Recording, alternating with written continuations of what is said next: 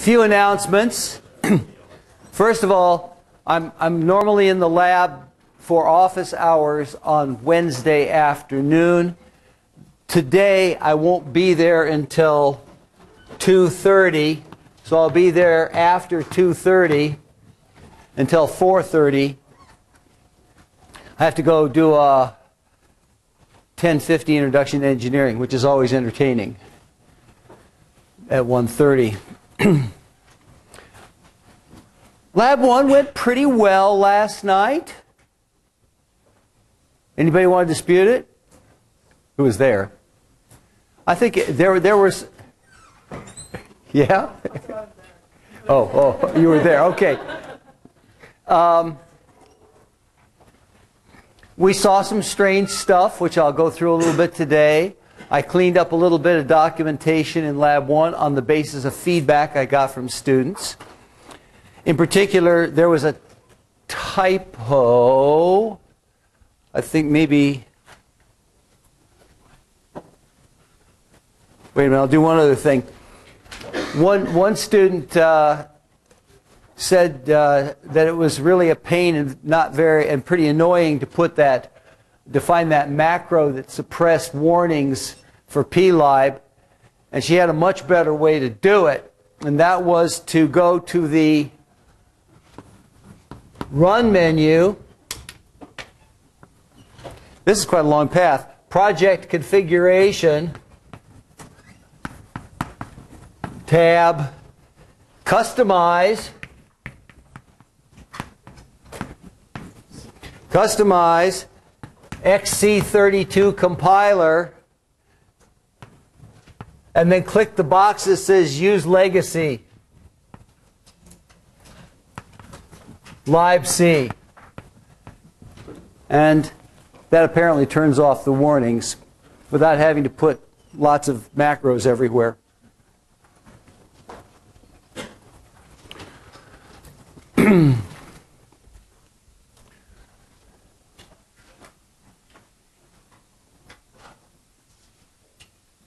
Now I want to go to lab one.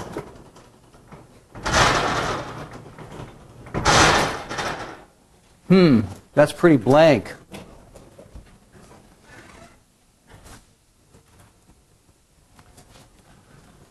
Okay, it says I'm on the laptop.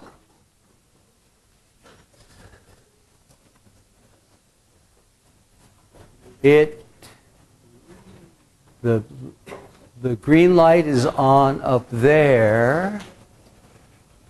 Why are we not seeing anything?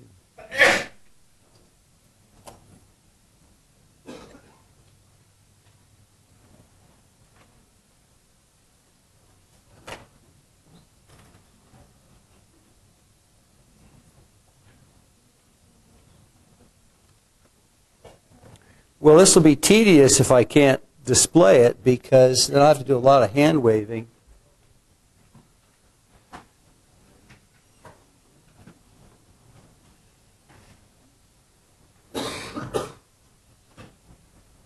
I, of course, tested this two minutes ago. So,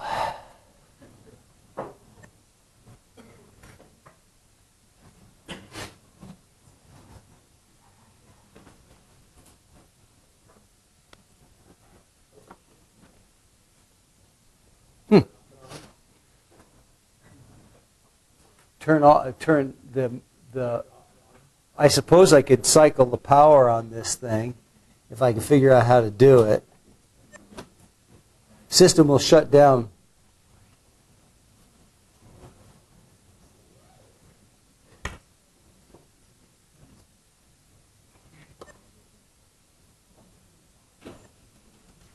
When in doubt, reboot.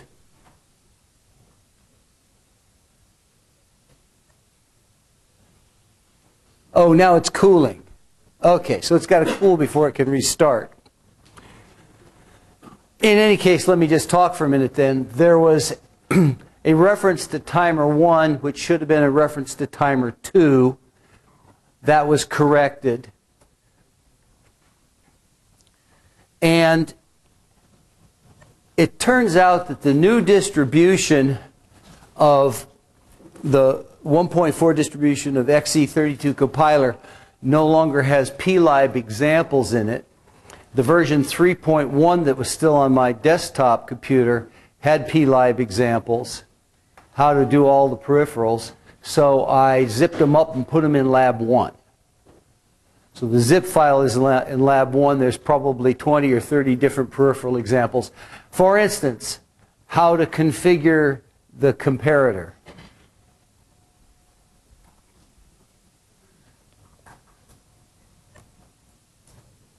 It's still cooling. Wow. It's got a large thermal mass.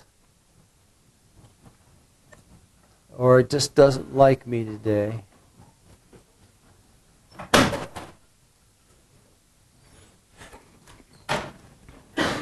So I also linked up some information on, I, I linked up a two line stanza for turning on the comparator because a couple of groups couldn't make it work last night.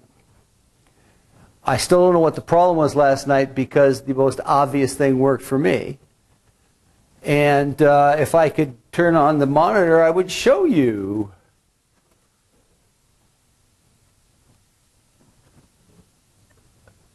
Okay, now it's warming up again. Let's see if it's happier now. The beam came on. The display is blank.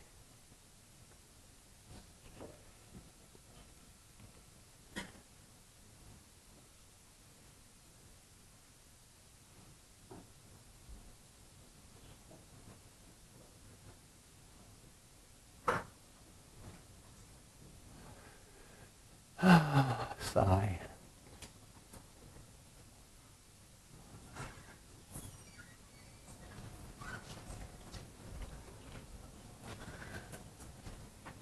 So I can see light coming out of the aperture, but it's not that bright.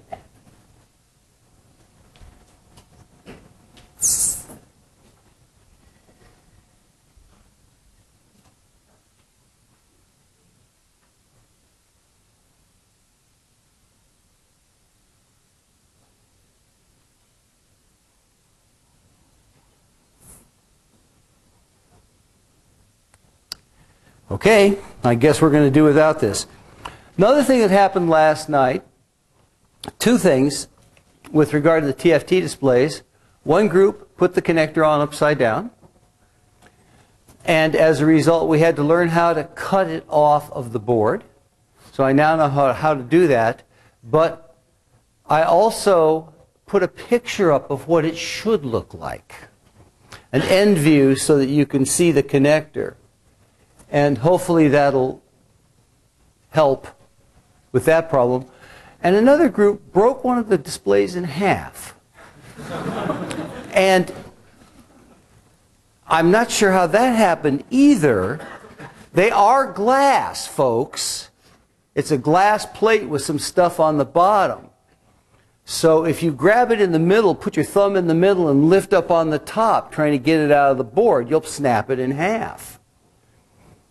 If you have to take it out of the board, and I don't, I don't suggest that, then what you want to do is to pry it gently loose from the, from the whiteboard with a screwdriver so that you're putting minimum torque on the whole, the whole structure.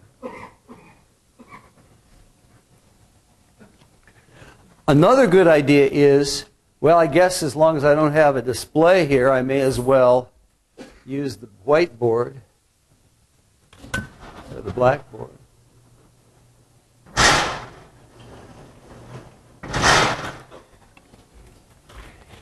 If this is your whiteboard, you could hook the liquid crystal display on like this and dangle it as far out as you possibly can, which, by the way, is what the TAs did. Or you could arrange it so that there's only one row of exposed pins to hook to and overlap it on the board so it is maximally supported. That cuts down the twisting torque when you jam it into your storage box and generally protects the display from being bent. You should probably do that. If you break the display, I have a link up now. I just I sent you an email describing how you can buy a new one.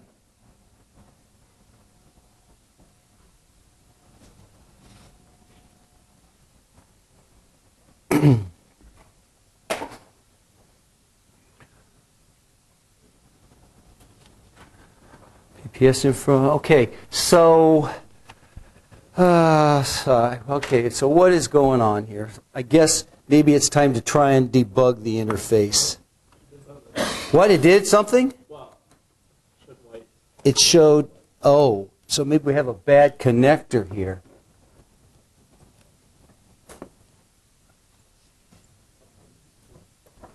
What did it do? It did, it, it flashed. Okay, time for some percussive maintenance.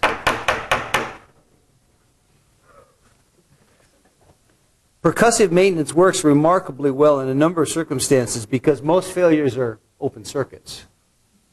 And if you happen to get lucky, you can bang them back together. But I'm not going to get lucky today, I guess.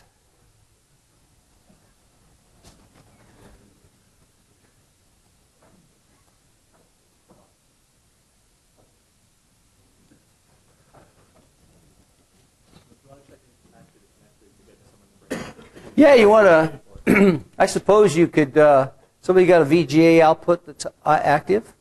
Haul it up here.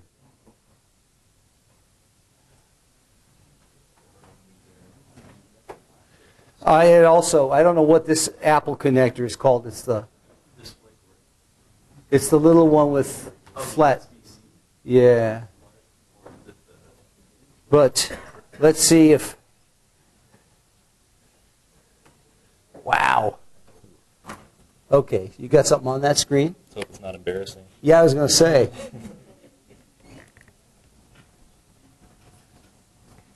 Damn. Okay, so you're good. Well, let's leave it here for a minute. So this implies that my uh, iPad has a small problem, or the adapter does.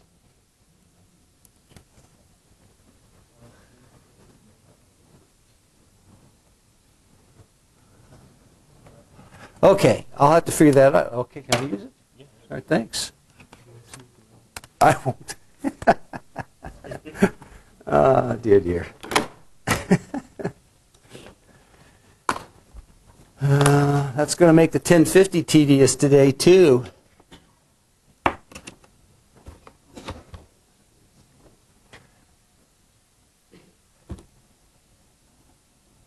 Lab 1 happens to already be open. Isn't that handy? Oh, that's not a touch screen, is it?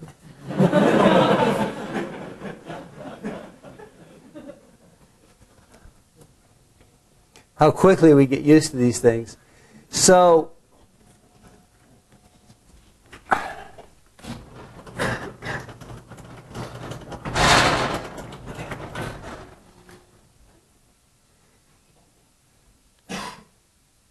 the main changes I made to Lab 1, wow, that's, that's pretty small font on there. And Control plus on this machine.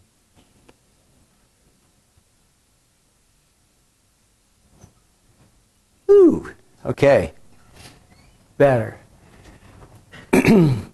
The main changes I made to the lab were to, after the link to the peripheral library uh, document, I put up a, a, page of plib examples in a zipped uh, version of it. I put up a, these are pages from the, to, uh, the PIC32 hardware manual, uh, part manual, which uh, gives the, P, uh, the PDIP pinout, the signal names, the peripheral pin select input table, and the PPS output table, which I found I was referring to all the time and didn't feel like flipping back and forth through the uh, data sheet for.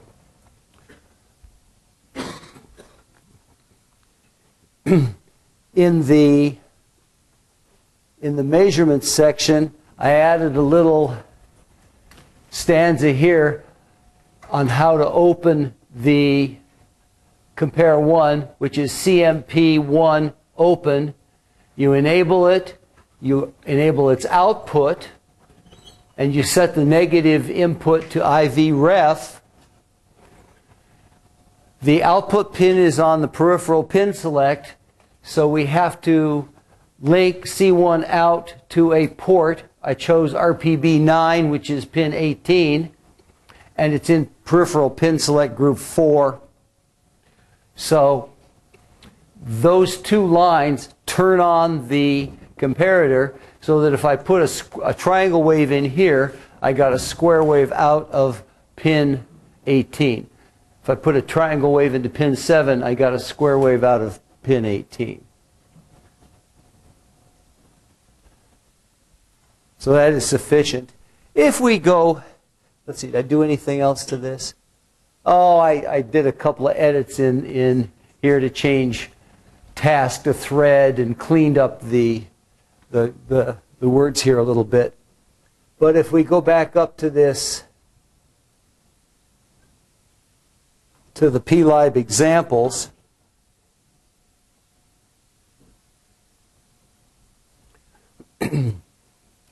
Microchip had a nice HTML page that I stole along with all of the uh, code. Uh, go to the analog comparator, source, CMP basic, and there's a short code here which again turn, tells you how to turn on the compare. In this case, they're enabling it. They're selecting non-inverting output, which is the default. They're out. They're doing an output disable, which means it does not go to the output pin. They're putting it in run in idle mode. so even if the CPU is idling, the comparator still runs. The comparator is generating no event. This is where you turn on an interrupt if you wanted to. And we're using the positive input from the C1 in pos, which is pin 7. And then we can read the status of the comparator with CMP1 read. CMP1 read works with the internal signal even if you don't output the signal to a port pin. In your case, you're going to want to output it to a port pin because you need to loop the comparator output back into a input capture module. You want the comparator to trigger a time capture on a cycle accurate basis. To do that, the only way I've been able to figure out how to do it is to route it off the chip and back on again.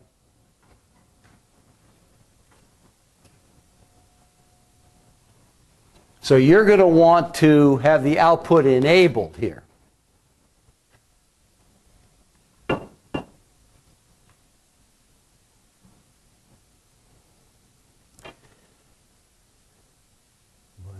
The compulsion to use touchscreen is really strong.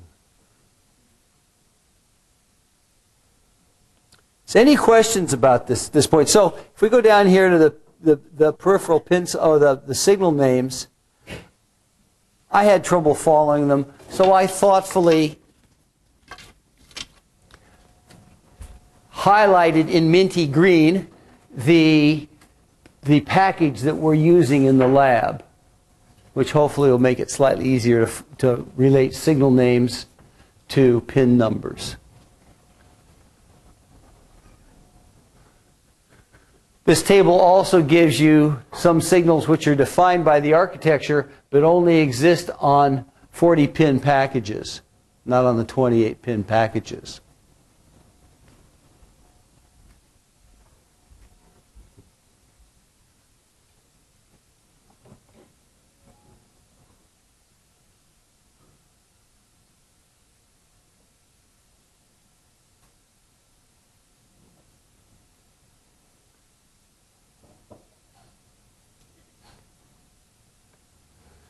So, wow, where? Oh. So, any questions at this point? What questions do you have about Lab 1? Next thing to do is to show you a, a, a compare capture, input compare, I should say output, output compare module generate pulse sequence inputted back into the input capture to get its period. But there are a lot of questions on Monday. No questions today? Yes.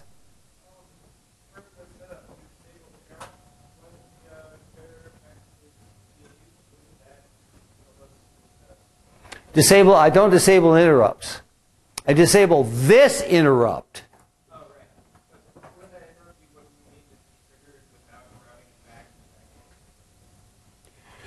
So let's say that you interrupted on a compare, takes about 50 cycles to get into the interrupt service routine, takes 20 or 30 cycles then to, well, probably five, five to 10 cycles to read the timer 2 timer. And given that the time to get into the interrupt probably depends slightly on the context the CPU is in, you, it's going to be very difficult to get cycle accurate measurements that way. Whereas if you run it back into the input capture, then as soon as the edge comes through on the input capture pin, the Timer 2 is copied to a register in hardware with no software interaction. And it is therefore it can be cycle accurate. Trick here is whenever possible, eliminate slow annoying software and do it in hardware.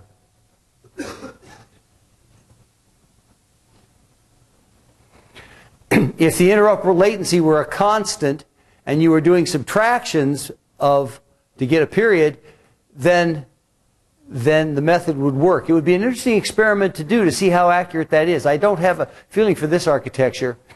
On the on the AVR, the dispersion for getting into a interrupt was uh, three cycles, and uh, on this architecture, I don't know.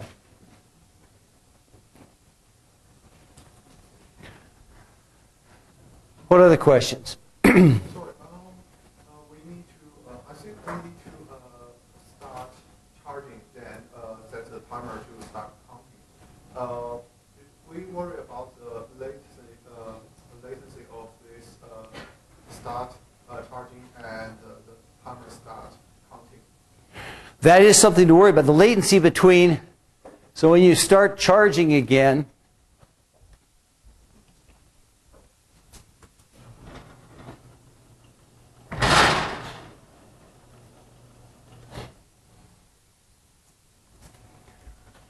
So when you start charging, you have to separately turn an output to an input and start a timer. Question is, how close together in time can you do that? That's what you're asking. And Again, I haven't looked at the output of the compiler, but you can do that if you there's a there's a uh, menu item I think called View or Windows towards the right hand end of the uh, of the list, and one of the entries there is uh, uh, view output or something obscure, and you ask to view the assembly, and it'll flip open a window with the assembly language in it for the code you've just written.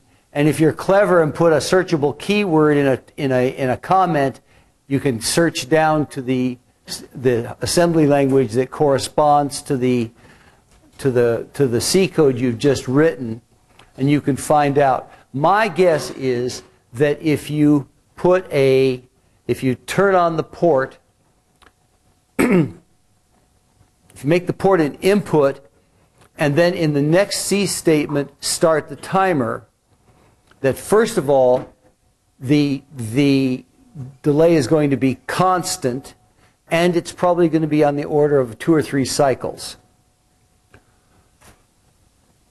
You could measure that and subtract it. Or another possibility is do a linear least squares fit to the capacitances you measure and figure out what the offset is. But I think it's going to be small, at least compared to a microsecond. Probably less than 1%.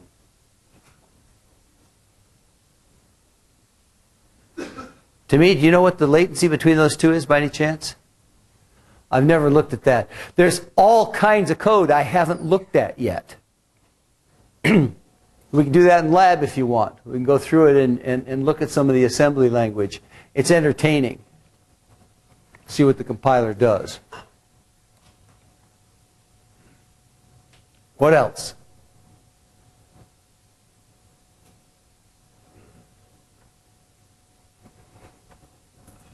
Everything's good. Time to go in lab two? No, let's do let's do some uh, input compare code.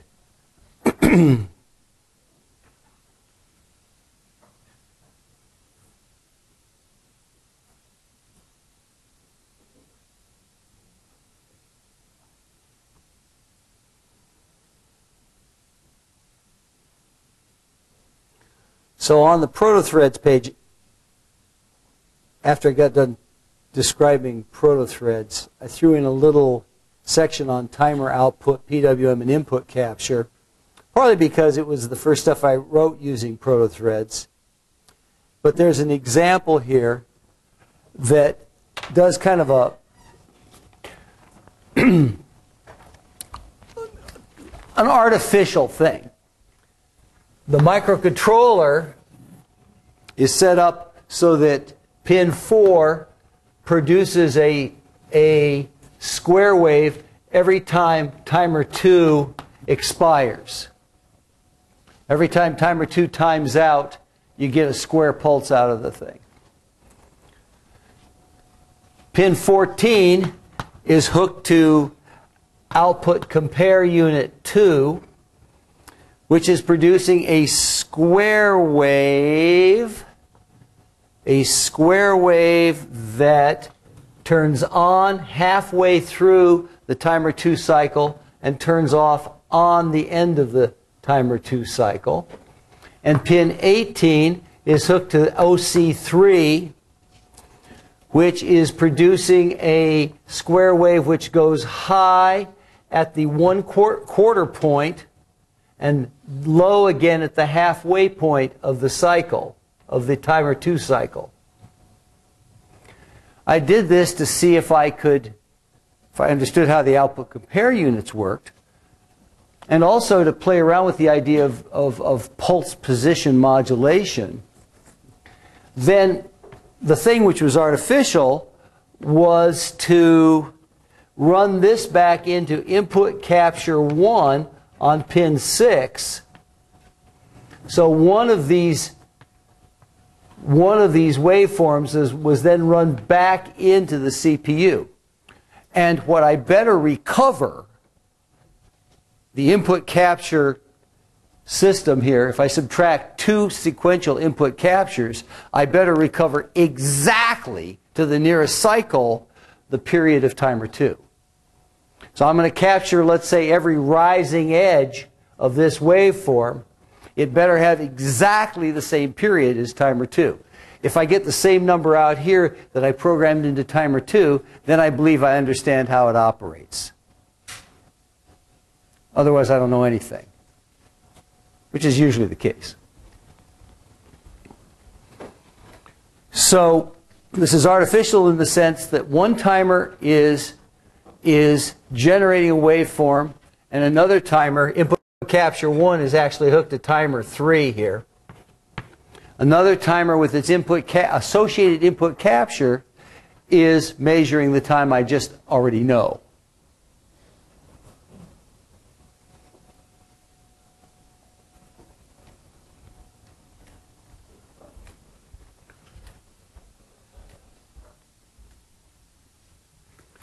And most of this code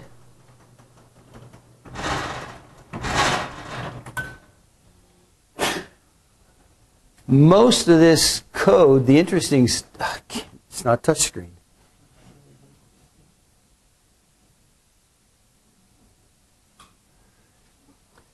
So there's a little summary up in the upper, uh, at the upper part of the, of the screen there. Pin 4 is is toggled by timer 2 interrupt. Pin 14, 18 are output compares. Pin 6 is input capture. We set up the timers. But let's go down now and look at, at, at main, where all of the interesting stuff is here, because once you get it all set up, reading it is fairly easy.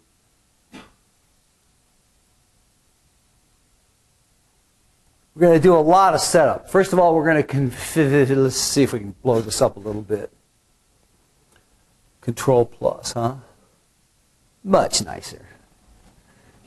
So, first thing we're going to do is set up timer 2 to generate the wave period. And this is going to be on some sort of generate period time base here that is interactively set by the by uh, serial input. We're open timer 2 by turning it on.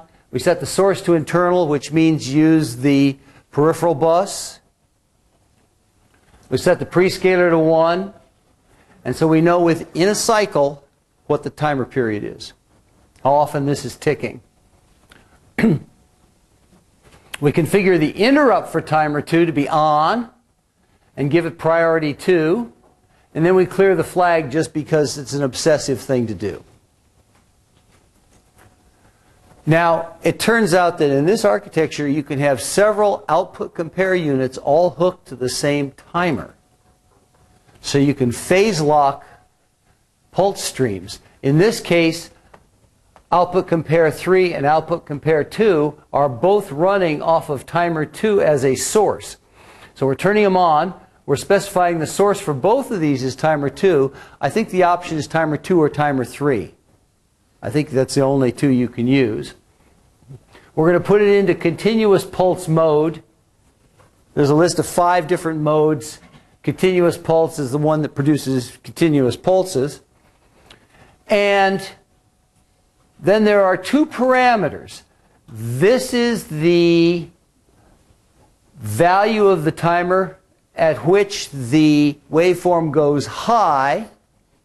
This is the time at which it goes low again. So in this case, we're having the, the timer go high at half the period, period shifted right by one, and it drops low again at the end of the period. This output compare is going high at one quarter of the period and going low again at half the period. We have to hook them up to output pins so OC3 is put on RPB9, which is still pin 18. I can't believe I'm actually memorizing these. Uh, and RPB5 I haven't got yet. Five. It's probably around 14. 13 or 14. Oh, it is 14. Oh, there. Good documentation. Okay, so we said it's in group 2, output OC2, RPB5. So this then configures the two output compares off the same timer and connects them to output bits. So they're sitting there chugging away. Any questions on this? So next then, so the hardware is set up to produce the to produce the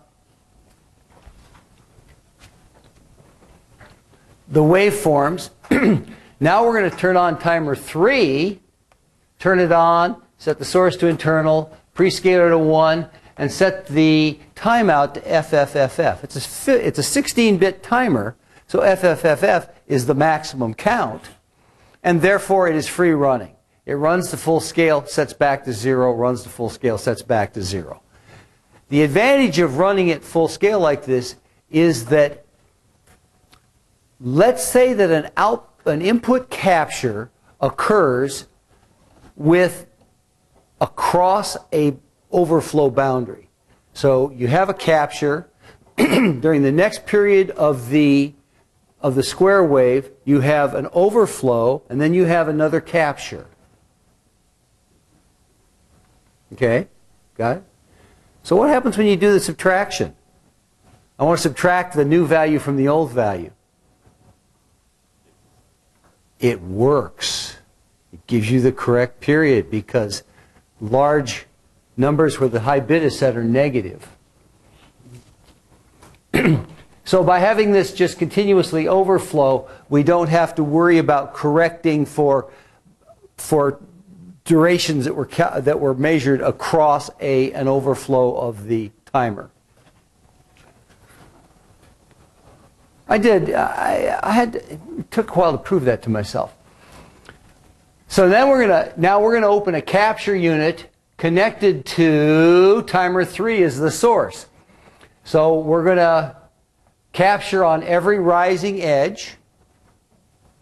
Could be falling edge, of course. It's going to be on the internal one capture. Can't remember what that does. Timer 3 source, turn it on. Configure the interrupt for the capture to be on and at priority 3, and then clear its flag. So that every time we get a capture, we're going to take a capture interrupt. In the capture interrupt, we can now record the exact time at which the edge went high. But the timing of the interrupt is not critical because, it, because the hardware captures the edge. Then at our leisure, 50 cycles later, we can read it.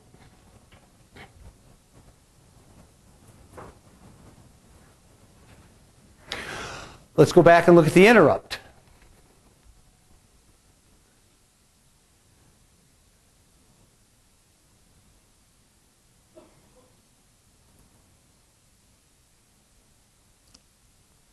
There's two interrupts. As I said, I turned on the timer to interrupt. All the timer 2 interrupt does is set bit 0 on port B, clear the flag, and clear bit 0. So I get a very fast pulse on the order of a few dozen nanoseconds wide out of the interrupt, which I can use as a trigger or a time base or whatever I want for my oscilloscope because I was trying to figure out how this all operated by debugging with the oscilloscope. So this was the tick time base for the, for the oscilloscope and not much else. All of the interesting stuff happens in the input capture 1 interrupt where we read the capture, compute the capture period as the new capture minus the last capture, and as I said, that works across a, an overflow boundary. Then we, we update last capture to the new capture. But I also wanted to see what the highest and lowest value red was. And if everything is working correctly, the high and the low should be the same. And it should be the exact value that I want to read. And it was. So this just does, this just gets the maximum period red and the minimum period red. We'll clear the interrupt flag and, and, and drop out of here again.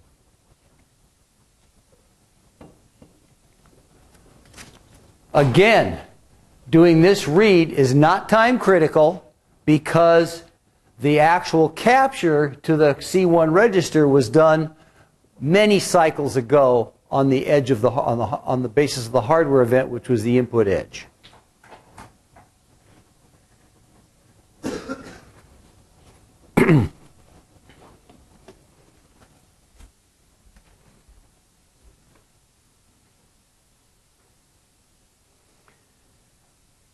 There's a command uh, uh, command thread here which does a couple of things. It uh, allows you to set the generate period so you can change the the uh, the input. And I got really crude. I closed timer and then opened it again to change the generate period. Whereas I later on I found out I didn't have to do that. You can just change the generate the, the period of the timer directly.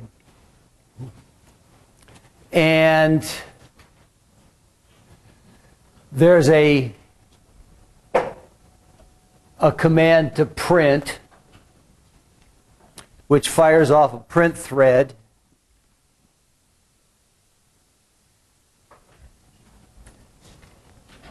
so the uh, this thread just waits until the printing go, uh, value goes high, uh, forms an output buffer, spawns an output thread to, to dump it to the uh, terminal, signals uh, the print semaphore to say we're done, and, and stops itself, turns itself off again until the next time you ask, ask for a printed value.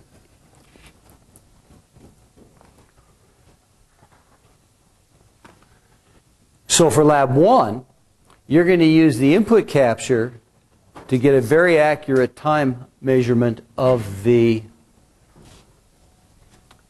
of the uh, waveform.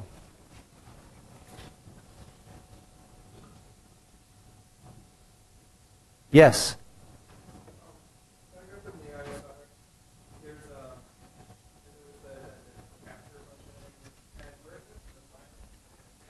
Oh. Well, I can't remember the exact file in which it is. Uh, well, where are we here? Uh, you mean the the M1, the MIC1 read capture?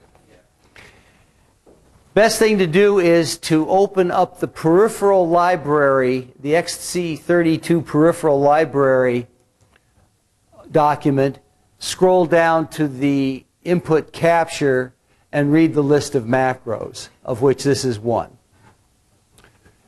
You can also, on any anytime you have this open in the in the uh, graphic user interface in the GUI, you can right click on that value and say show me. I think the actual command is you right click, you say navigate to definition, and it'll pop open the file where that is defined. Tahmid, you want to say something else? Oh, you don't even have to. So just control click takes you to the definition, even an even shorter shortcut than I figured out. Okay, control click will take you to the file. You can find out all of the macros that are defined for the C1 capture then.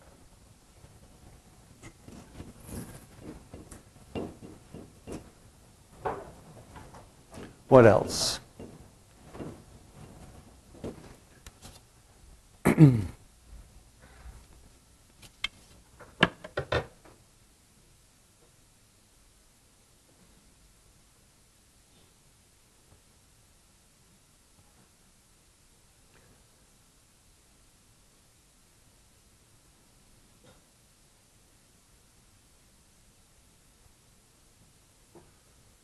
by way of uh, emphasizing,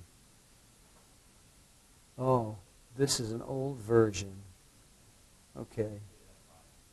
Your, your cache is, needs to be reloaded. The, uh, by way of example, I tried to overlap this display as much as I could Could have actually gone down one more tenth of an inch and still got these wires in. But you want to overlap the display as much as possible onto the whiteboard. Need rigidity.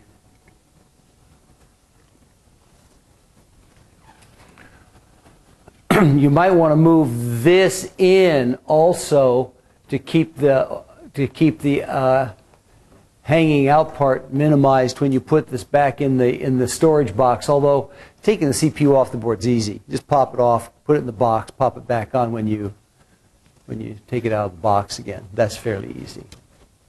Cycling this connector that holds the board, holds the de development board onto the whiteboard is fairly easy. Cycling this connector be careful. Don't do it. You can put a screwdriver right under here and twist and just pop that off very gently. If you grab it up here and pull, it'll break in half.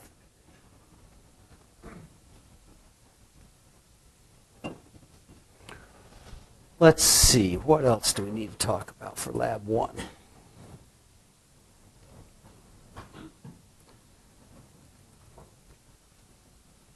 Any other questions on Lab 1? TFT came up easily last night, right? The display came up easily, no problems with that.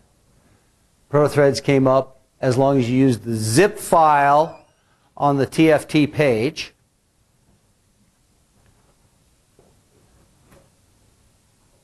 So at this point, if there are no questions, then the next lecture I'll start on Lab 2. A lot of stuff to cover. Lab 2 is going to be uh, a DTMF dialer. We have to find out how to scan a keypad and debounce it. Have to learn about direct digital synthesis, how to, how to, how to build a sine wave from scratch. And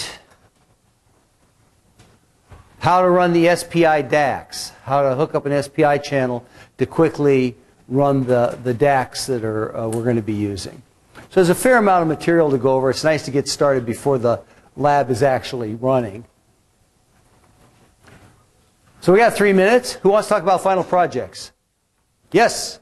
So I got really excited about making a combination signal generator and oscilloscope. Yeah? And I thought if it worked really well, I could Kickstarter and put it on a board. Uh-huh. I went to Kickstarter, curious, and apparently someone already did this. And not only that, they used PIC32. Well, that sort of kills that, doesn't it? Tahmid and I wrote a, a article for Circuit Cellar, which we have yet to hear about, uh, that does that also. Uh, let's see the the audio out the it's basically audio rate. It'll sample at about 900,000 samples a second for the oscilloscope, and it'll and it'll uh, synthesize at what 200,000 samples a second, 250 something like that. So it's a pretty good audio rate signal generator. However, that's just one aspect of it. For instance, what kind of bandwidth could you get for uh, a laboratory instrument? Could you build a laboratory instrument which is gives you several megahertz output that uh, has a nice display that has has controls you'd actually want to use as opposed to the ones in the lab, which are pretty obscure. Uh, so building laboratory instruments is certainly a reasonable final project. And a signal generator would be a good one. Getting the distortion down, the rate up, controls good. It's hard.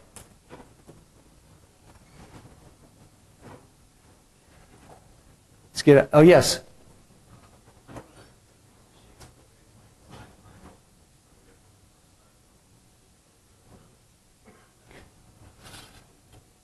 So you could imagine having a system.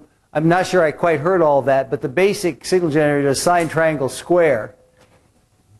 If you did this as a table lookup, you could have any arbitrary waveform you want. Then you have to ask, how long a table can you put on this system? Could you put a table that was long enough to play uh, a, a, three-minute song? And so if you stay in memory, if you stay in flat in RAM, you have about 32,000 bytes. you could expect to do something like a couple of seconds of, of wave, which would be long enough for any reasonable signal generator. If you wanted to go longer than that, you'd have to uh, put external memory on the system, probably in the form of data flash, which would allow you to put as many megabytes of memory in as long a table as you wanted. Then you could have a table-driven signal generator that you would load perhaps from a MATLAB program. That'd be pretty cool.